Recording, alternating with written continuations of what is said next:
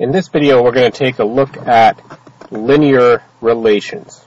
So I have a graph here, and I have some, some numbers down here on what we call the x-axis, the horizontal axis here. And on my vertical axis, which we usually assign the variable y to, I have some numbers here as well. And then on the graph, I have a series of dots, which represents values in this relation. Now this is called a linear relation simply because all of the points here lie on a straight line. I think you could see that. I could draw a line that would go through essentially all of those points, like so. Um, so that's what makes this a linear relation. But I'm going to just remove the line so that we can look at these series of, of points here. So we're going to look at linear relations. So the points, the data points that we're going to look at are all going to lie in a straight line. And what we're going to do is we're going to take this information of, from this graph and we're going to put these points in a table of values. So the table of values would simply look like, like this. We'll do a vertical one here. And usually we just separate the two columns between the x values and the y values. And so what we're going to do is we're going to take this information of the graph, from the graph, and make a list of the various data points. So I'm going to start with this first point right here. And I'm going to, I'm going to tell what the x value is. So here's where 0, 0 is on the graph. So this first point right here has an x value of 1. So when x is 1, and looking at this point here, its y value which is the value on the vertical axis, would be 1. So this point here has the coordinates 1 for x and 1 for y. Now if we move to our next point on the graph, the x value, so looking down here, the x value is 2. The y value, looking across here, would be 3. So x is 2 and y is 3. Looking at this third point here, x value would be 3, y value would be 5. And so on. We can continue the, the, uh, the uh, points here. So this one would have an x value of 4 and a y value of 7. And so on. We'll do these last two. x is 5 and y is 9. And finally, my last point here would have an x value of 6. Yes. And the y value would be 11 here. Okay, so I've made a table of values. This is a vertical one. We could also do a horizontal one. And it would look like so, and we would simply have these same x values, 1, 2, 3, 4, 5, 6, and our corresponding y values, 1, 3, 5, 7, 9, 11. It doesn't matter whether you use a vertical uh, table of values or a horizontal table of values, whatever, whatever you are, whatever you like best. Uh, I'm going to use a vertical one here. So let's let's look at this again. Here's my table of values. And one of the things, one of the expectations that you should be able to have in this course is you should be able to start recognizing patterns in your table of values. So when I look at this, it looks to me like every time x is going up 1.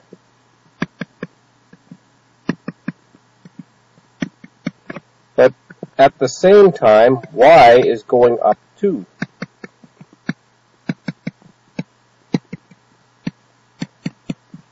So y jumps from 1 to 3, 3 to 5, 5 to 7, 7 to 9, sorry, yeah, 7 to 9, and then 9 to 11. So without even looking at my graph and seeing where the next point would be, I think we could probably say from our data that the next point on here would be a 7 for x, because we add one more that seemed to fit our pattern.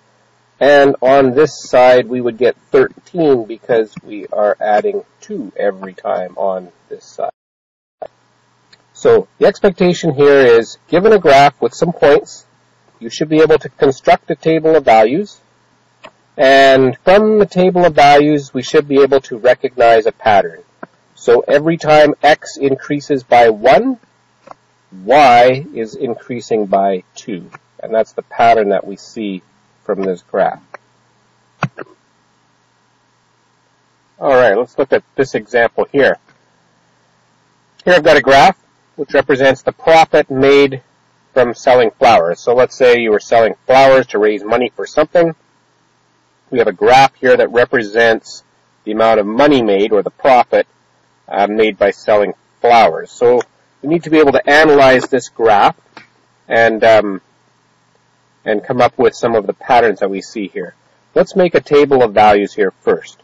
So remember, um, I'm going to do the vertical one here.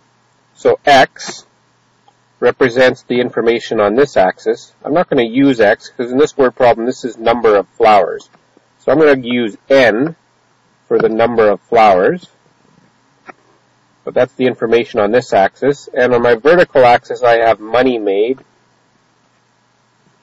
So I will use um, m for money. So n is the number of flowers, m is the amount of money I make. So I have a point right here. So zero, if I sell zero flowers, I make zero dollars. Zero, zero. Um, this next point here, the x value, or n, number of flowers, is 1. The amount of money that you made is 3. And next point here is 2, and 6, and 3, and 9, and I have another point here, 4 and 12. So I've made a table of values here that represents this information. So let's see if we can see the pattern that there is on the graph. So every time this seems to be going up by 1, going up by 1, this appears to be going up by 3 every time.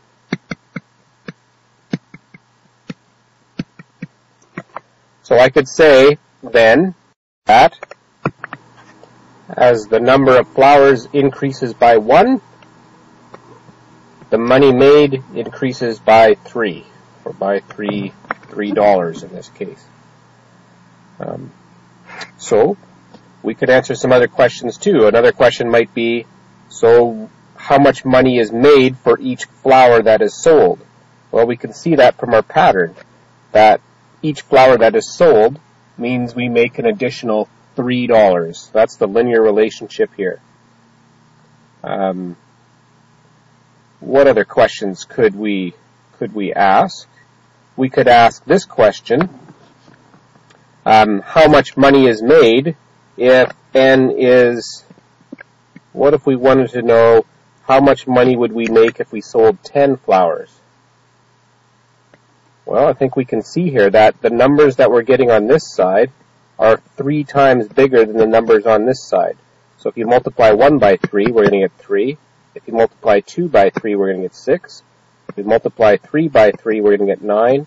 4 times 3 is 12, so it would make sense that if I sold 10 flowers, 10 times 3 would be $30. So if we were to move this along here to 10, we would have a point way up here where the Y value or the money made is $30. So if we sold 10 flowers, we would make $30.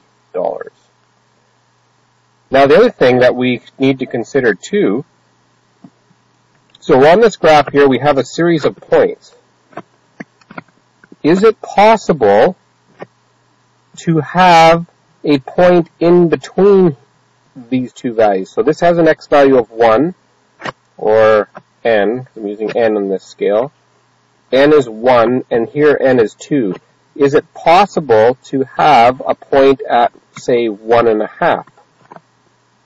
Like, would it make sense to have a point right here? Because that would, in theory, lie on this line 2 that connects these points. Well, that'll depend on the problem, on the word problem that you've got. So this is the profit made selling flowers. So if we're going to have a point between 1 and 2, does it make sense to sell one and a half flowers? And I would argue that no, it's not. You can't sell half a flower when you're doing a fundraiser. So you can't have points in between, on this example, say one and two. The only the only data points we could have are zero flowers or one flower or two flowers or three flowers. We can't have say one and a half flowers or 2.3 flowers. But if you looked at this example, so this example here is the elevation or the height above ground of a falling object. So looking at our points here, down on this axis, the x-axis, we have time in seconds and height in meters. So let's say you dropped a rock or a rock is falling and it's falling at a hundred, it's, it starts at 100 meters here at zero seconds. After one second it's at 90. After two seconds it's at 80. At three seconds it's at 70 meters. So it's getting closer and closer to Earth as we drop it from whatever, a bridge or something. Um, in this example, is it possible to tell what the height would be at one and a half seconds? So could we have one and a half seconds here and have a point here for the rock or whatever it is? And on this example, yes, for sure, because time is continuous. It doesn't just jump from zero seconds to one second. You could have one and a half seconds or you can have 2.2 seconds. So on this particular question, we would have a nice line that would go through all of these points here and any point along this line would satisfy or make sense in this word problem. But not in this one, because we can't have one and a half flowers or 2.3 flowers or 4.1 flowers. So on this graph, we would not have the data points in the middle. We could not have one and a half. We would just have these points right here. So that's a linear relation. Linear relations are points that would lie in a, in a line and we should be able to take a graph like this and produce a table of values. And then from the table of values, or even from our graph, we should be able to come up with some information about the relationship that exists between the x-axis, or the horizontal axis, and the y-axis, or our vertical axis.